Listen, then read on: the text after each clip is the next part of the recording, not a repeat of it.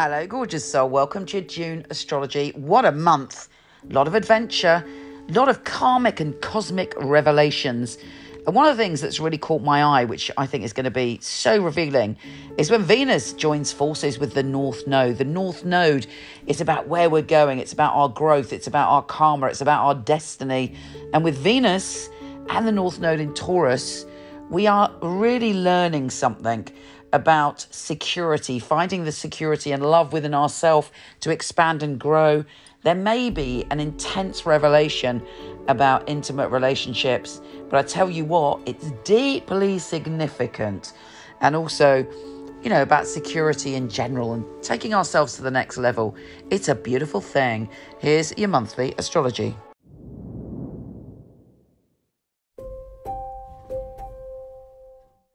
Hey, Scorpio, you are coming into your power in June. Well, you know, there have been times in your life, potentially many times in your life, where you've been fully aware of that amazing power of yours.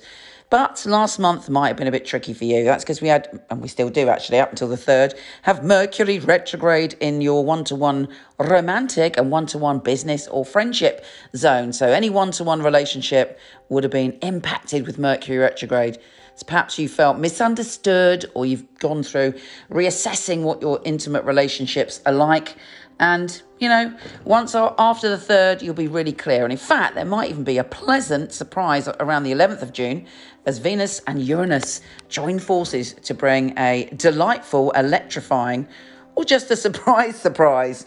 You know, let me know how it goes in the comments below. Anyway, finally, Mercury is re entering your position of primal energy. It's a Scorpio vibe in you. You are pumped up Scorpio vibing when Mercury re enters. You, you can look at people and dive deep with your psychic detective vibes.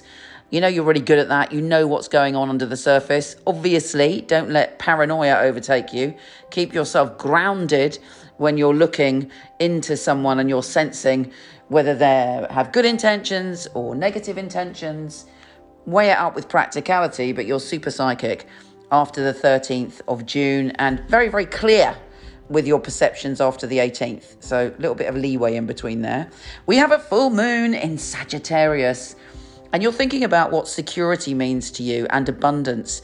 And hopefully, you'll have again a psychic revelation or a synchronicity or a dream that will lead you in the right direction when it comes to abundance, security. You might be thinking about making a commitment, laying down some foundations, and this full moon kind of gives you the answer. Now, Venus is also going to be sextile Neptune and giving you this sense of joy. You might let your guard down actually and feel very open hearted, loving, joyful, sort of filled with pleasure and wonder and excitement of, of life. You know, those wonderful times where you have that moment of total connection into your feelings and into your kind of centre of fun and lightheartedness, but also with pleasure and joy uh, and, and deep stuff because you're naturally a deep being. So, Venus sextile Neptune on the 19th is very, very good for you. When the sun shifts signs, that's good because it's going into fellow water sign, it's going into Cancer. It's also the solstice, either the winter or the summer solstice, depending on where you are.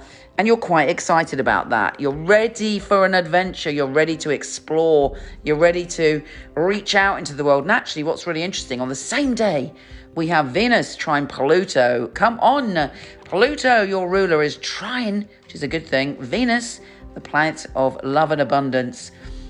And it should be a really important conversation and decision you make around that time. Then Venus is moving out into Gemini and for you into your primal zone again. You might have very intense feelings for the remainder of June, like really full on and intense. But again, fight your fears, stand in your power, be the best version of yourself. I mean, obviously, feel whatever you're feeling, get support if you need it, but there is a cosmic way to access your power this month for sure. The new moon in Cancer is square Jupiter, the planet of good fortune. Normally, a square is tricky, but Jupiter doesn't do that. Jupiter always brings optimism to the party, and you might feel that you want to adventure, go on a journey, and be a bit wild, but you're balancing that up with self care and finding the balance within yourself to be able to have an adventure in a safe way. Venus is also sextile Jupiter on the same day, and you're like, mm, you're really feeling things intensely. And again, you're thinking about how can I really explore everything I'm passionate about while also taking care of myself and looking after my being and having sort of perfect balance. It might be good actually to get out the temperance card in the tarot and kind of think, what does that mean to me? Where do I need more temperament? Temperance, where do I need more balance? Sending so much love to you. Take care, gorgeous, and I'll speak to you soon.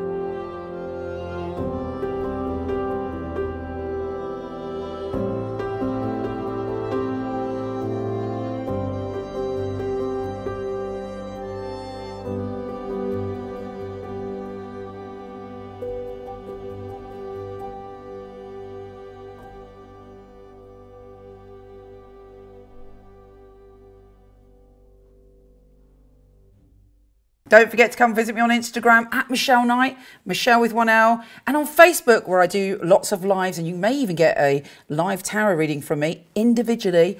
Michele Knight Astrologer, and of course my website, micheleknight.com, if you want a reading with one of my fabulous psychics. So much love to you.